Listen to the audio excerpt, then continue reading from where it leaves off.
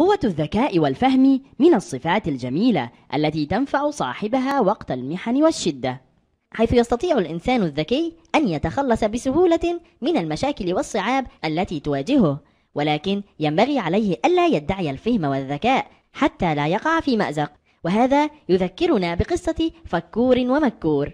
فهيا بنا نتابع ما حدث لهما.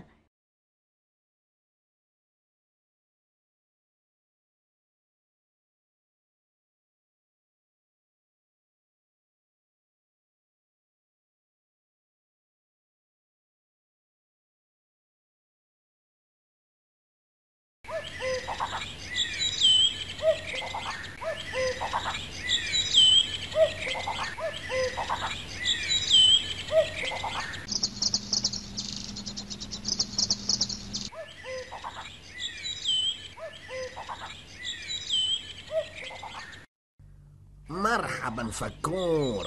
مرحبا يا مكور. لقد سمعت أن عندك مئة حيلة وحيلة تصطاد بها فرائسك وتتخلص بها من أعدائك. نعم نعم فأنا ولا فخر أذكى وأمكر ثعلب في الغابة. مم، هل تسمح لي أن أصاحبك لأتعلم من حيلك وأفكارك البارعة؟ هذا شرف لك يا صديقي. يا له من أسد قوي ومفترس.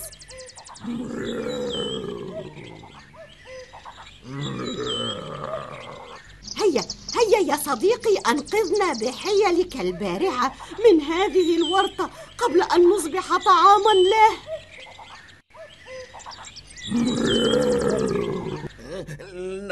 ضحكت عليك يا صديقي فأنا لا أملك حيلة واحدة ولا أعرف كيف أتصرف. لقد انتهينا انتهينا. ها؟ لماذا ادعيت العلم والذكاء وافتخرت على غيرك وأنت لا تمتلك شيئا؟ هيا هيا اسكت ولا تنطق بكلمة. واترك الأمر لي. أمرك مطاع يا صديقي. إلى أين أنتما ذاهبان؟ إننا نبحث عنك يا ملك الغابة في كل مكان لتحكم بيني وبين أخي مكور هذا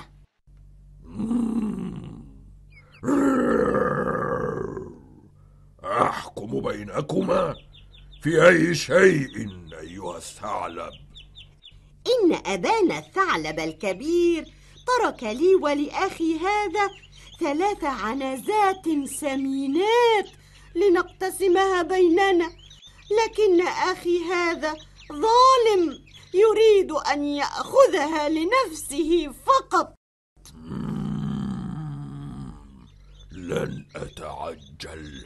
وآكل هذين الثعلبين الصغيرين قبل أن أعرف مكان العنزات الثلاثة ثم آكلهم جميعا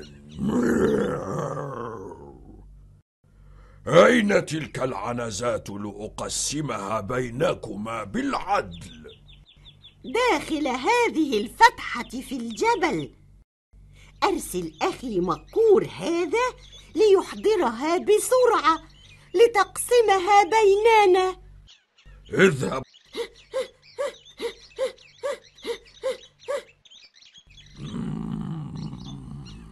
لقد غاب أخوك كثيرا أيها الثعلب. ألم أقل لك يا سيدي؟ إنه ثعلب ظالم ماكر يريد أن يأخذ العنزات لنفسه. أرسلني إليه لأحضره لك ذليلا كثيرا هو والعنزات الثلاثة.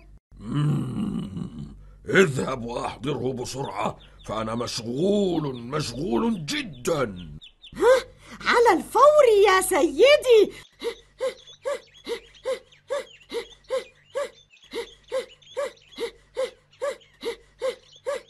يا ملك الغابة يا ملك الغابة.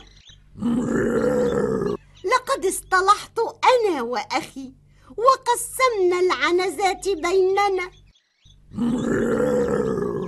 فامضي في طريقك. سلام سلام. أيها الماكران سوف أنتقم منكما في يوم من الأيام. ما رأيت قاضيا يغضب من الصلح بين المتخاصمين قبلك أيها الأسد.